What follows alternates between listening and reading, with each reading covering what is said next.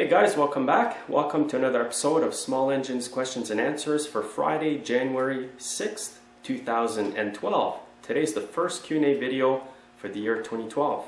It's been a pretty mild winter in this part of Canada. Usually it's really cold at this time and we have a lot more snow. The lakes will be frozen up. You can go snowmobiling, ice fishing on them, but this year you can't even go on the lake because the ice is too thin. In some places there's not even any ice. It surely hasn't been a good year for snowmobilers. I haven't even seen one out yet. But even so, I've been pretty busy with snowblowers anyways. I'm surprised I had so many to repair at this time. It also did give me a bit of spare time to make more videos or to edit the videos I already had filmed. So it was good that way. Anyways, let's get started with the questions today. The first question I have today is sometimes YouTubers ask me if the carburetor on the MS 170 and 180 Stihl chainsaw is adjustable or not? Well, the answer to that is no. The carburetor is non-adjustable. And you'll find the same carburetor on the MS-170 as on the 180. And even if you take the cover off, you're going to see there are no adjusting screws at all for the carburetor. The only screw there is is for the idle speed, which you would insert a screwdriver through this hole here, turn in the screw to idle faster, and turn it out to idle slower. That's the only adjustment that this carburetor has. I have never seen one with an adjustable carburetor. So if you own an MS-170 or a 180, your carburetor is non-adjustable. I have a video showing how to adjust the idle speed on that chainsaw and I'll put the link below this video so you can go check it out. It's an easy thing to do, but you're rarely going to have to do this adjustment. My next question today is in regards to the drain valve on the Tecumseh carburetors, which you will find on some snowblower engines. People often ask me, what do you do when the little valve starts to leak? You can buy just the valve kit here, but what often happens is if it's time to replace that valve, it's also time to replace the bowl, especially if it gets corroded.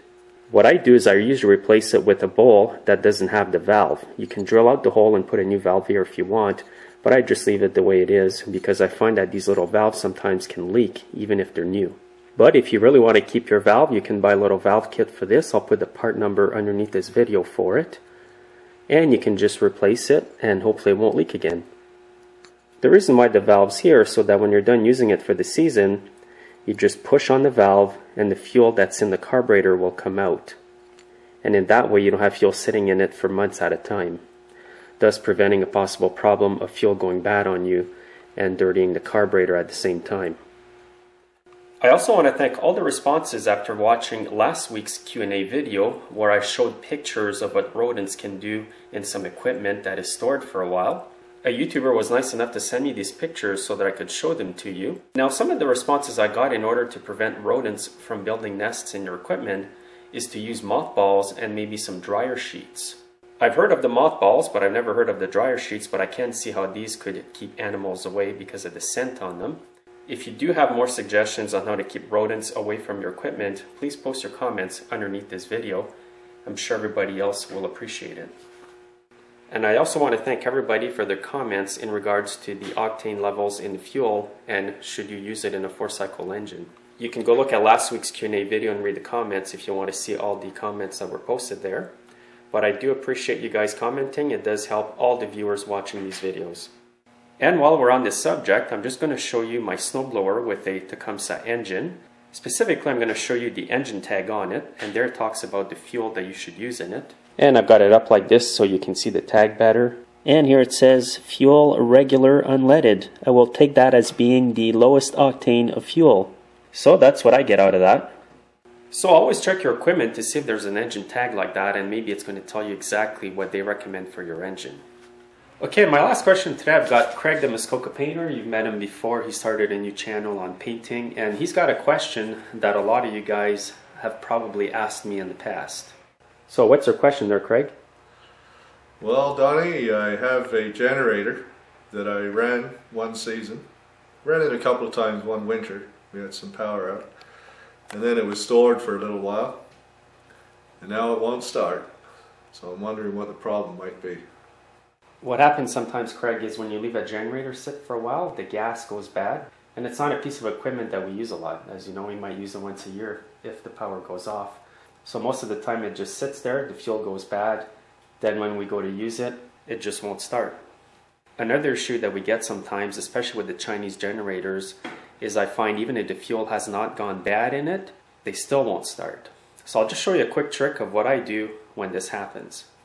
What I do correct sometimes is I grab a can of quick start or some flammable penetrating oil. I take the air filter cover off and I spray some right in the carburetor. I've got a generator here and I'll just show you quickly what I mean. Perfect. Here's a Chinese generator and this is what I do. I take the air filter off, take the foam off, and in there you can see the carburetor. You want to make sure that the choke's not on and then you just go in and you spray a couple shots so it goes right in the carb and then it should start. Make sure to put the choke on when you do this so it helps to suck in the starting fluid right in the engine. And once you get the fuel moving, it'll just keep going. Sometimes these generators, that's all they need. They just need a bit of help to get going and then they'll run good. It usually happens when I don't use the generator for quite a while. Then make sure to put everything back on once it's running properly. I do have a video that shows how to do this. I'll post a link below this video as well. It's an older video, it's not in HD, but it does show you exactly how I do it with the generator. Thanks, Donnie. That's going to help me out this year, and if I get power out, I'm going to have uh, backup generator. So, thanks again, buddy. All right, well, hopefully that helps. If uh, it doesn't work after that, then maybe it needs to be looked at further. Right on. All right, guys, that's about all the time I have for this week. And a special thanks for Craig for being here, for asking the question. Thanks again for watching, and thanks for all your support. Please make sure to subscribe if you haven't. Have a great weekend, and we'll see you next time.